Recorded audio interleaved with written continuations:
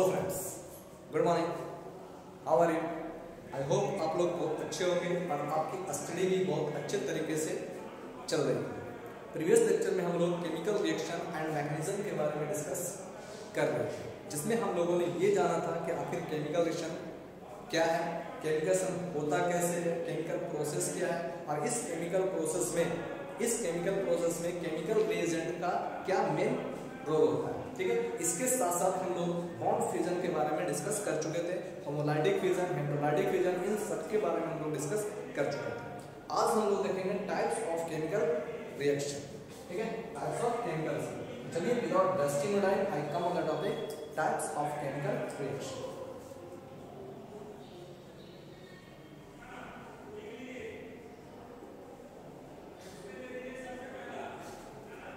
chemical reaction ठीक है? Chemical reaction chemical reaction is mainly is of four types chemical reaction जो होता है, वो मेनली फोर टाइप्स कौन कौन होता है? एक कहलाता है कॉम्बिनेशन रिएक्शन एक कहते हैं कॉम्बिनेशन रिएक्शन दूसरा डीकंपोजिशन डीकंपोजिशन नेक्स्ट क्या है डिस्प्लेसमेंट रिएक्शन डिस्प्लेसमेंट रिएक्शन और नंबर फोर जो होता है, वो क्या है? रीअरेंजमेंट रीअरेंजमेंट रिएक्शन ठीक है? यानी there are four types of chemical reaction बाकी जितने भी तरीका का केमिकल रिएक्शन होता है, वो सब इसी के अंतर्गत आता है। ठीक है? तो there are mainly four types of chemical reaction and this chemical reactions are कौन कौन सा है कॉम्बिनेशन डिकम्पोजिशन डिस्प्लेसमेंट और रीअरेंजमेंट ठीक है? अब ध्यान ये जो कॉम्बिनेशन रिएक्शन है, ये जो कॉम्बिनेशन रिएक्शन है this combination reaction is also known as addition reaction इसे ही हम एडिशन रिएक्शन का नाम देते हैं। ठीक है? ये जो डिकम्पोजिशन है, इसे ही हम क्या करते हैं? एलिमिनेशन रिएक्शन करते हैं। इसे एलिमिनेशन रिएक्शन का नाम दिया जाता है। और ये जो डिस्प्लेसमेंट होता है इसे हम क्या करते हैं? सब्स्टिट्यूशन रिएक्शन का नाम देते हैं। ये होता है सब्स्टिट्यूशन रिएक्शन और ये जो रीअरेंजमेंट होता है also known as isomerisation isomerisation ठीक है? यानी मेरा कहने का मतलब क्या है? Combination reaction also known as addition reaction decomposition elimination reaction displacement, substitution, rearrangement और isomerization ठीक है? तो आखिर जब ये दोनों एक ही तरह का रिएक्शन है जब ये सब एक ही तरह का रिएक्शन को शो कर रहा है तो फिर इसका अलग अलग नाम क्यों दिया गया? ठीक है? क्योंकि इसमें थोड़ा सा डिफरेंस है। है दोनों एक ही चीज़। कॉम्बिनेशन को ही एडिशन करते हैं डिकम्पोजिशन को ही एलिमिनेशन करते हैं डिस्प्लेसमेंट को सब्स्टिट्यूशन और रीअरेंजमेंट को ही आइसोमेराइजेशन करते हैं। तो जब ये सब सेम है तो फिर सभी में डिफरेंस क्या है? ठीक है? तो इसमें केवल एक थोड़ा सा डिफरेंस वो डिफरेंस क्या है? कि ये जो रिएक्शन है, ये जो रिएक्शन है ये रिएक्शन जो है this reactions are the types of inorganic reaction ये जो रिएक्शन है, वो इनऑर्गेनिक रिएक्शन का एग्जांपल है और ये जो रिएक्शन है, ये ऑर्गेनिक रिएक्शन का टाइप ठीक है? ये केवल बस डिफरेंस इतना है कि ये क्या है? इनऑर्गेनिक रिएक्शन को इंडिकेट करता है, जबकि ये क्या करता है? ऑर्गेनिक रिएक्शन को इंडिकेट करता है. यानी हम कह सकते हैं यहाँ पर कि types of chemical reaction are further classified into organic reaction और इनऑर्गेनिक रिएक्शन ठीक है? Inorganic reaction is also further classified into four types combination decomposition displacement और रीअरेंजमेंट ठीक है? यानी ये जो टाइप्स ऑफ़ केमिकल रिएक्शन है it come under the inorganic reaction ये इनऑर्गेनिक रिएक्शन के अंतर्गत आता है. ठीक है? जबकि ये आपका क्या है? ऑर्गेनिक रिएक्शन के अंतर्गत आता है. ठीक है? अब ये जानना है कि आखिर दोनों में डिफरेंस क्या है. तो डिफरेंस यहाँ पर बहुत ही छोटा।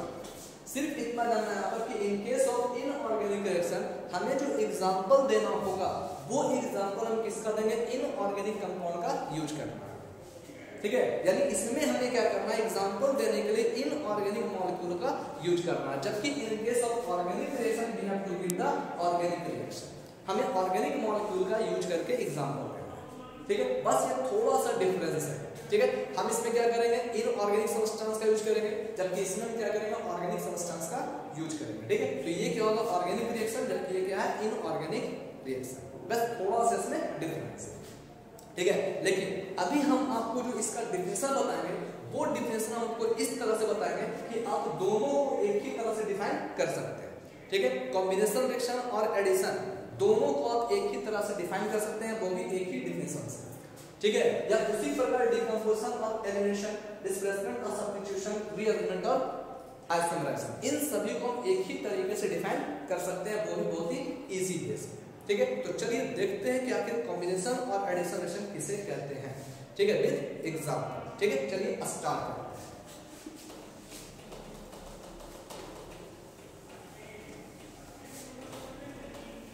तो कॉम्बिनेशन रिएक्शन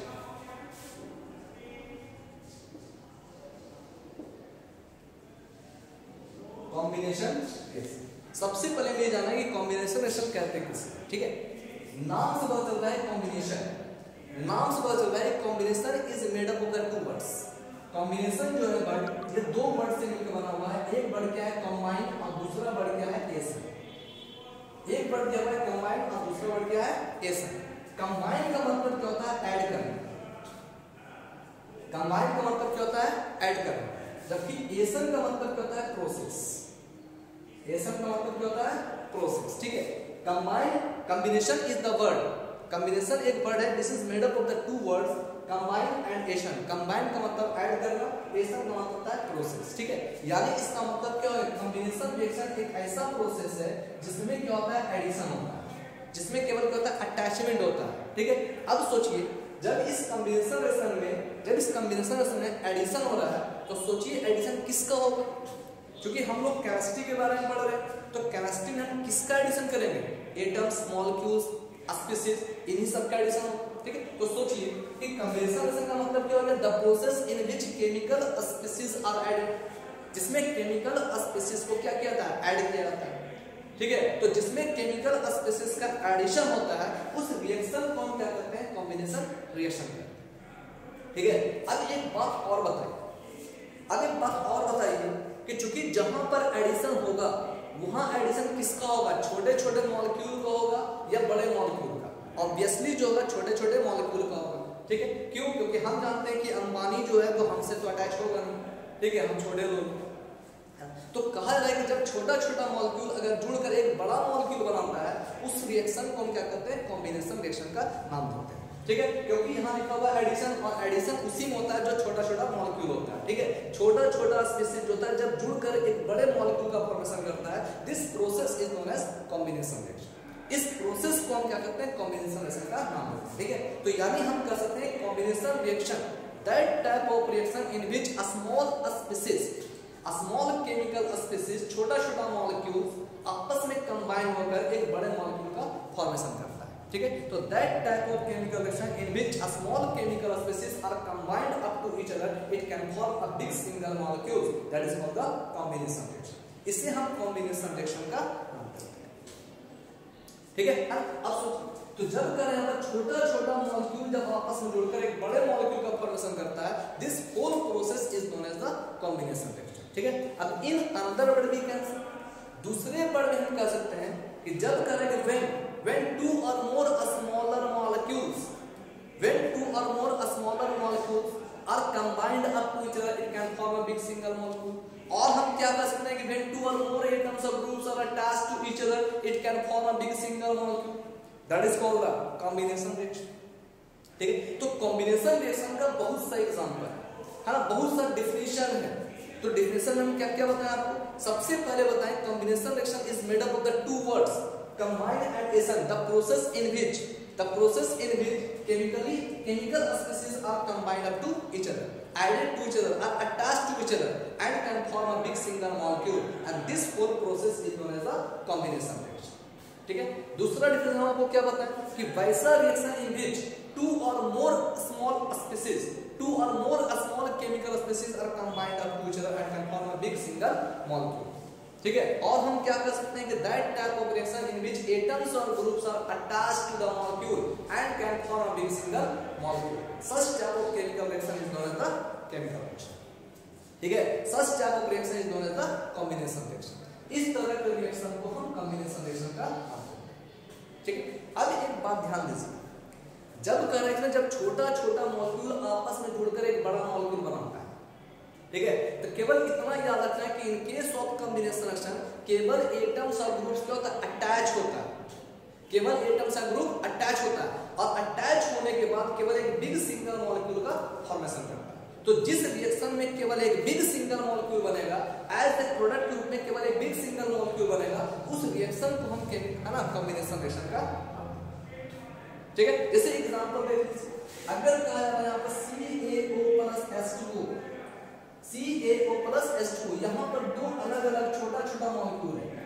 ये दोनों छोटा-छोटा मॉलिक्यूल आपस में जुड़कर क्या करता है? एक बड़ा मॉलिक्यूल CaOH का वोल्टवाइज का फॉर्मेशन करता है। ठीक है? कैल्शियम हाइड्रोक्साइड का फॉर्मेशन करता है। इसका मतलब क्या है कि जब दो छोटा-छोटा मॉलिक्यूल जब दो या अधिक छोटा-छोटा मॉलिक्यूल आपस में जुड़कर एक बड़े मॉलिक्यूल का फॉर्मेशन करता है तो this reaction is known as combination reaction इसी रिएक्शन को हम कॉम्बिनेशन रिएक्शन का नाम ठीक है? अब सोचिए कि इस रिएक्शन में कॉम्बिनेशन रिएक्शन में नाम के अनुरूप इसमें केवल एटम या ग्रुप अटैच होगा।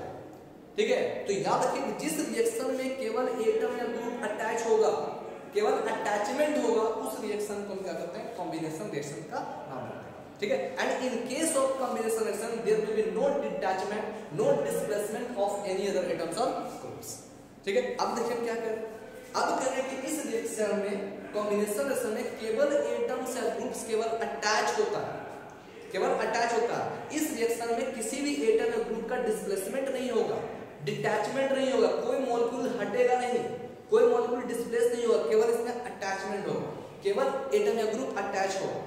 ठीक है? केवल मेरा काम क्या होता है? केवल अटैच करना। तुम हमको देते जाओ, हम लेते जाएँगे। लेकिन हमसे तुम मांगोगे। ठीक है? कोई कंफ्यूजन मत रखना। ठीक है कि हम तुम्हें कुछ दे देंगे। ठीक है? यानी मेरा काम क्या है? केवल लेना। ठीक है? तो जो केवल लेने के लिए जानता है, उसको क्या करते हैं? कॉम्बिनेशन रिएक्शन करते हैं। ठीक है? हम कुछ दे रहे हैं। इसमें क्या होता है? केवल अटैचमेंट होता है। एटम्स और groups attach to the molecule only केवल एटम या ग्रुप इसमें अटैच होता है। There will be no displacement of any other atoms of group इस केस में किसी एटम या ग्रुप का अटैचमेंट नहीं होता। ठीक है? डिटैचमेंट नहीं होता डिस्प्लेसमेंट नहीं होता। उस रिएक्शन को हम क्या करते हैं? कॉम्बिनेशन रिएक्शन का ठीक है? है ना? तो अब सोचिए कि अगर आपसे कंप्लीट डिफिनेशन पूछा जा रहा है कॉम्बिनेशन रिएक्शन किसको करते हैं तो आप क्या बताइएगा? That type of reaction in which atoms और groups are attached to the molecule without displacement of any other atoms और ग्रुप्स बिना किसी एटम्स और ग्रुप्स के डिस्प्लेसमेंट के, ठीक है? बिना किसी एटम्स और ग्रुप के डिस्प्लेसमेंट के, केवल इसमें क्या होता है? एक बिग सिंगल मॉलिक्यूल का फॉर्मेशन होता है। है ना? तो such type of reaction is known as the combination reaction तो इस तरह के रिएक्शन को हम कॉम्बिनेशन रिएक्शन का ठीक है? अब अब अगर आपसे क्वेश्चन पूछा जा रहा है, अब अगर आपसे क्वेश्चन पूछा रहा है कि write the characteristics of combination reaction write the properties of combination reaction तो आप क्या लिखिए सबसे पहले देखिए कॉम्बिनेशन रिएक्शन के प्रॉपर्टीज़ में सबसे पहले इसका डिफिनेशन लिखिए ठीक है? कि कॉम्बिनेशन किसको कहते हैं, ये आप डिफाइन कर ही लीजिएगा। है ना टू और मोर मॉलिक्यूल्स आपस में कंबाइन करता है और कंबाइन करने के बाद एक बिग मॉलिक्यूल का फॉर्मेशन करता है। ठीक है? तो this type of reaction is known as combination ठीक है? देखिए, अब देखिए तो सबसे पहला कैरेक्टरिस्टिक्स ऑफ़ कॉम्बिनेशन रिएक्शन क्या हो जाएगा आपका? डिफिनेशन ऑफ़ कॉम्बिनेशन रिएक्शन ठीक है? दूसरा, अब हम जानते हैं कि in case of combination reaction in case of combination reaction only atoms और मॉलिक्यूल्स ओनली एटम्स और मॉलिक्यूल्स मॉलिक्यूल्स और केमिकल स्पीसीज और chemical species are attached only are attached only इसमें केवल एटम्स और ग्रुप्स क्या होता है? अटैचमेंट होता है। ठीक है? नंबर थर्ड हम क्या कर सकते हैं next properties of combination reaction in case of combination reaction there will be there will be no displacement there will be no displacement और detachment there will be no displacement or detachment of any other of any other atoms or groups atoms or groups from the molecules from the molecule और इसमें क्या होता है कि molecules में से किसी भी एटम या ग्रुप का डिटैचमेंट नहीं होता डिस्प्लेसमेंट नहीं होता। केवल इसमें क्या होता है? अटैचमेंट ठीक है? यानी एटम्स और ग्रुप्स और मॉलिक्यूल्स और chemical species are attached only there will be no displacement और डिटैचमेंट ऑफ़ एनी एटम्स और ग्रुप्स फ्रॉम द मॉलिक्यूल्स ठीक है? उसको हम क्या कहते हैं? कॉम्बिनेशन रिएक्शन का नाम है। ठीक है? तो ये सब क्या आपका प्रॉपर्टीज़ इसके अलावा ध्यान दीजिए नंबर 4 में क्या? है अब हम जानते हैं कि कॉम्बिनेशन रिएक्शन के केस में केवल जब कॉम्बिनेशन हो रहा है, केवल कॉम्बिनेशन हो रहा है, एक नया प्रोडक्ट बन रहा है तो इस नए प्रोडक्ट के फॉर्मेशन को हम क्या करते हैं? सिंथेसिस करते हैं। ठीक है? क्योंकि हम कह रहे हैं कि इसमें एटम सब ग्रुप आपस में जुड़कर एक नया बिग मॉलिक्यूल बना रहा है, एक नया बिग प्रोडक्ट बना रहा है, किसी दूसरे प्रोडक्ट का फॉर्मेशन कर रहा है तो फॉर्मेशन को हम क्या करते हैं? सिंथेसिस करते हैं। यानी इसी कारण जो है this combination reaction is also known as ठीक है? This combination reaction also known as also known as synthesis reaction इसे हम सिंथेसिस रिएक्शन का नाम देते हैं। है ना? इसे हम सिंथेसिस रिएक्शन का नाम देते हैं, ठीक है? अब ध्यान से, अब जब कर रहे हैं यहाँ पर कि कॉम्बिनेशन रिएक्शन के केस में फॉर्मेशन ऑफ़ प्रोडक्ट हो रहा है, ठीक है? फॉर्मेशन ऑफ़ प्रोडक्ट हो रहा है मतलब सिंथेसिस हो रहा है किसी दूसरे सबस्टेंस का। और हम ये भी जानते हैं कि in case of formation in case of formation energy is given out ठीक है फॉर्मेशन के केस में एनर्जी क्या होता है? होता है? तो अब सोचिए कि जहाँ पर कॉम्बिनेशन रिएक्शन हो रहा होगा, जहाँ पर फॉर्मेशन ऑफ़ प्रोडक्ट हो रहा होगा, जहाँ पर सिंथेसिस हो रहा होगा, वहाँ पर एनर्जी का इवोल्यूशन होगा या नहीं होगा? ऑब्वियसली होगा, है ना? यानी इसका मतलब क्या है कि in case of combination reaction energy is given out energy is given out ठीक है, या energy is evolve out energy is evolve out यानी एनर्जी का यहाँ पर क्या होता है? इवोल्यूशन होता है। और जहाँ पर एनर्जी का इवोल्यूशन होता है, उसे क्या करते हैं? एक्सोथर्मिक रिएक्शन का ठीक है? खैर एक्सोथर्मिक रिएक्शन के बारे में तो बाद में डिस्कस करेंगे। अभी हमें सिर्फ़ कॉम्बिनेशन रिएक्शन के बारे में डिस्कस करेंगे ठीक है? तो अब आप ये समझ चुके होंगे कि आखिर कॉम्बिनेशन रिएक्शन किसको कहते हैं? और कॉम्बिनेशन रिएक्शन का प्रॉपर्टीज़ क्या होता है? ठीक है? तो सबसे पहले हम कॉम्बिनेशन कॉम्बिनेशन रिएक्शन का डेफिनेशन देंगे। उसके बाद क्या देंगे कि इस कॉम्बिनेशन रिएक्शन में केवल एटम्स और ग्रुप्स का अटैचमेंट होता है, कोई डिस्प्लेसमेंट नहीं होता है केवल इसमें फॉर्मेशन होता है और इसी कारण combination reaction is also known as synthesis reaction इसी कारण इसे सिंथेसिस रिएक्शन का नाम देते हैं, ठीक है? और इन केस ऑफ़ फॉर्मेशन चूँकि फॉर्मेशन के केस में एनर्जी इवोल्व आउट होता है गिवेन आउट होता है, बाहर निकलता है। इसी कारण हम कह सकते हैं यहाँ पर कि ये जो कॉम्बिनेशन रिएक्शन होता है, इसमें क्या होता है? एनर्जी गिवेन आउट या इवोल्व ठीक है? क्योंकि कॉम्बिनेशन रिएक्शन में फॉर्मेशन हो रहा है, ठीक है? और हम जानते हैं in case of formation energy given out ठीक है? तो चूँकि कॉम्बिनेशन रिएक्शन केस में फॉर्मेशन हो रहा है फॉर्मेशन केस में एनर्जी गिवन आउट होता है, इसी कारण कह सकते हैं कि in case of combination reaction energy is given out energy का इवोल्यूशन होता है।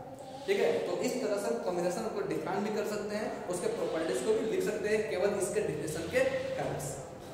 ठीक है? है ना अब आप ये समझ चुके होंगे कि आखिर कॉम्बिनेशन किसको कहा जाता है। ठीक है? अब हम इसके एग्जांपल बनाते हैं, इसके बहुत से एग्जांपल है और इस एग्जांपल से हम ये देखेंगे कि आखिर ये कॉम्बिनेशन है या नहीं ठीक है? तो चलिए इसको थोड़ा सा मिटा देते हैं। ठीक है?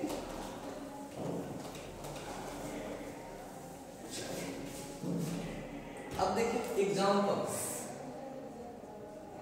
एग्जाम्पल्स ऑफ़ कॉम्बिनेशन ठीक है? सबसे पहला एग्जांपल अभी हम आपको दिए CaO प्लस H2O फॉर्म क्या कर रहा है CaOH का फॉर्मूला कैल्शियम हाइड्रोक्साइड ठीक है फिर देखिए CaO प्लस CO2 फॉर्म क्या करता है CaCO3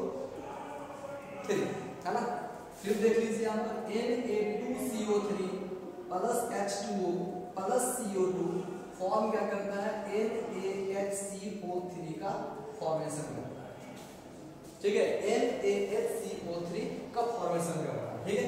प्लस क्या होता है? Ca प्लस O2 फॉर्म क्या करता है? CaO Mg plus O2 form क्या करता है? MgO ठीक है?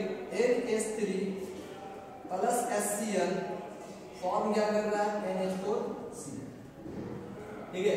और भी बहुत से एग्जांपल है तो पहले हम इन सभी एग्ज़ाम्पल पर कुछ डिस्कस करते हैं। ठीक है? देखिए, अब सोचिए। ये जो रिएक्शन है, ये जो रिएक्शन है, आपसे क्वेश्चन पूछा जाता है।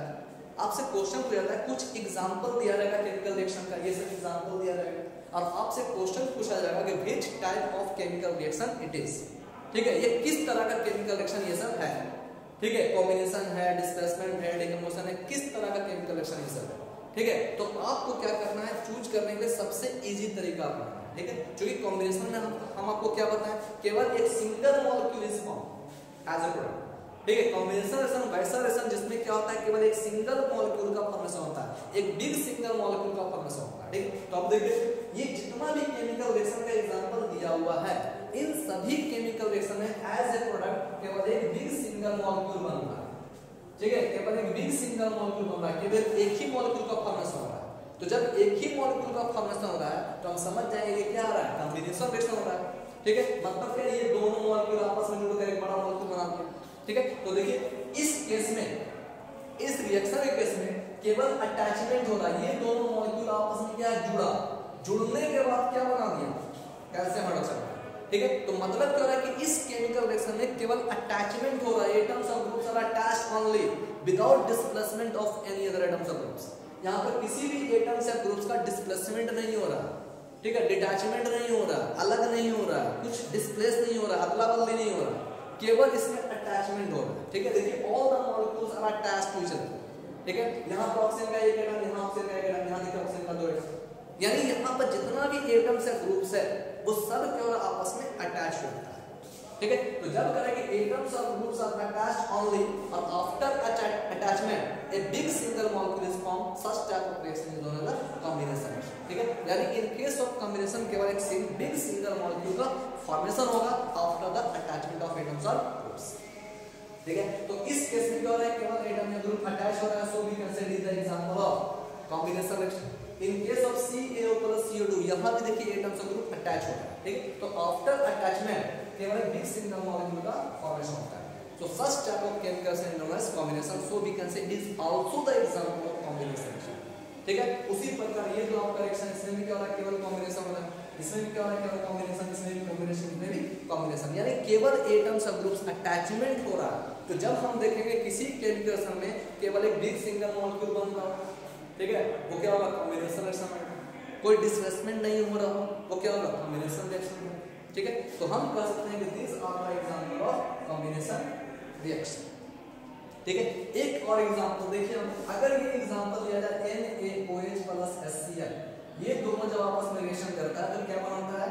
NaCl प्लस H2 अब ध्यान दीजिए, अब इस रिएक्शन में सबसे पहले देखेंगे यहाँ पर क्या है? दो मॉलिक्यूल बन रहा है। ठीक है? यानी इसका मतलब क्या है कि यहाँ पर क्या हो रहा है? डिस्प्लेसमेंट हो रहा है। यहाँ का Cl जो है, ये क्या होगा यहाँ पे प्लस Na से जुड़ जाता है। ठीक है? देखिए Na प्लस और Cl माइनस जुड़ने के बाद क्या बना दिया Na प्लस Cl माइनस बना दिया यानी Na से बनाता है। यहाँ से ये H प्लस इस OH माइनस जुड़ता है, तब क्या बनाता है? H2 बना लगता है। तो मतलब यहाँ पर क्या है? आपस में अदला बदली हो रहा है। ठीक है? ये क्या था? इसका Cl Na के पास, इसका OH H के पास, ये आपस में क्या किया? अदला बदली किया। इस अदला बदली को हम क्या करते हैं? डिस्प्लेसमेंट करते हैं। यानी यहाँ पर क्या एटम्स हम को डिस्प्लेस कर रहा है। और सबसे बड़ी बात तो हम आपको क्या बताएँ? कॉम्बिनेशन रिएक्शन केस केवल एक बिग सिंगल मॉलिक्यूल बनेगा, एक ही मॉलिक्यूल बनेगा। यहाँ पर एक मॉलिक्यूल तो है नहीं, यहाँ पर दो मॉलिक्यूल है। है ना? तो हम कह सकते हैं कॉम्बिनेशन रिएक्शन का एग्जांपल नहीं होगा। दूसरा बात क्या हो रहा है कि in case of this reaction इस रिएक्शन के केस में एटम्स और ग्रुप डिस्प्लेस हो रहा है।